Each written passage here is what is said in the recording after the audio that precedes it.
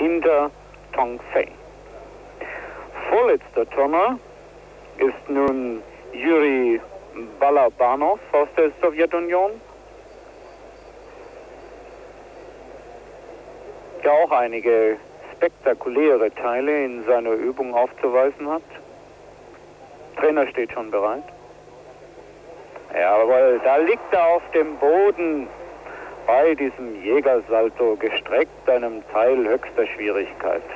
Ja, das meinte ich vorhin. Rekton ist nicht zuletzt auch deswegen für die Zuschauer so spektakulär, so interessant, weil es bei den, diesen Flugteilen eben auch einmal daneben geht. Juri Balobanov damit also aus dem Kreis der Medaillenanwärter ausgeschieden.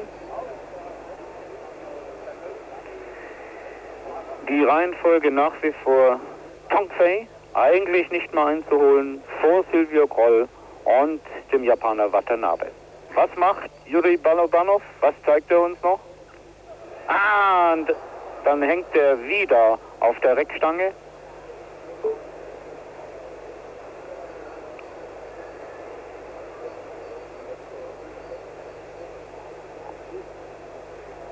Er hat viel in seiner Übung drin, aber viel ist auch schiefgegangen.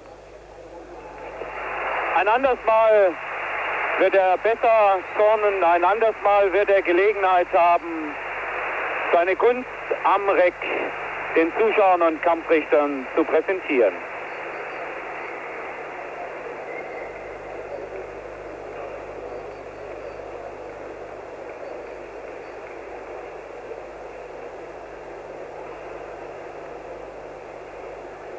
Schauen Sie her, diesen verunglückten Teil aus der einarmigen Riesenfelge.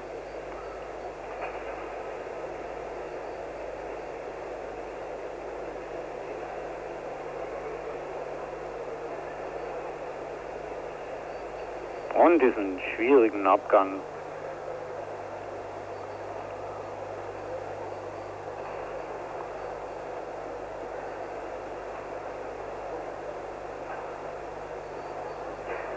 Sicher, er hatte auch mit einer Medaille gerechnet. Das konnte er auch bei seiner Vornote von 9,80.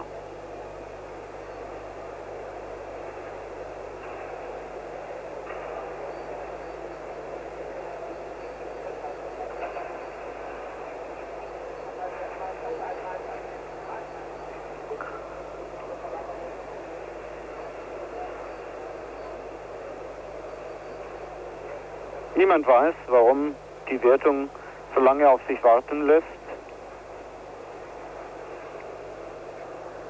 Da Balobanov ohnehin keine Chance mehr hat, vorne in den Kampf um die Medaillen einzugreifen nach dieser Übung.